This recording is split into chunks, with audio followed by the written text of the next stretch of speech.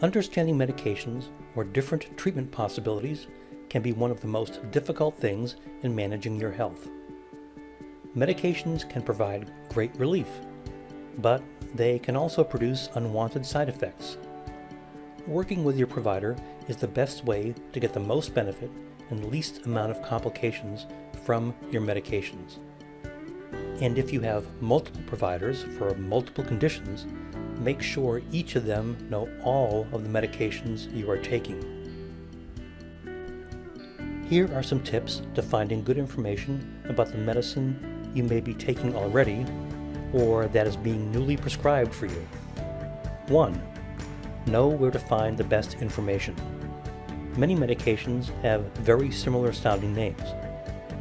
All have one or more brand names and a generic name. Always double check to make sure the medication you are looking up is the one you truly want to find. Medline Plus has a comprehensive drug guide that is written in clear language to help you fully understand the medications you are taking. If you are worried about misspelling the medication name in the search box, try browsing by medication type from the box on the right hand side of the page. 2. Get an app. It can be one thing learning about the medications you need to take, and a whole other thing figuring out when and how to take them.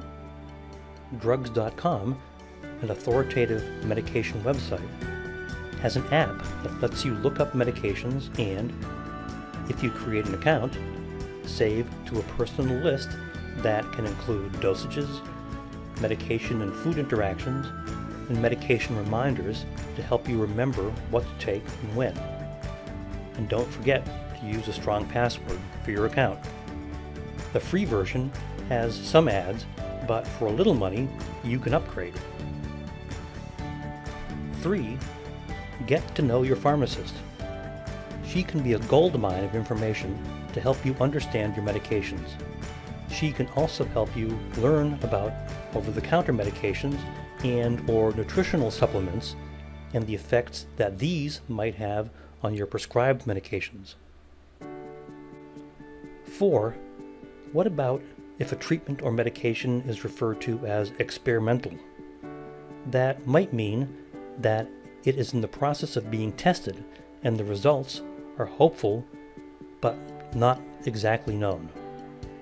By agreeing to try an experimental treatment, you may be helping yourself as well as helping others who develop your condition in the future. And 5.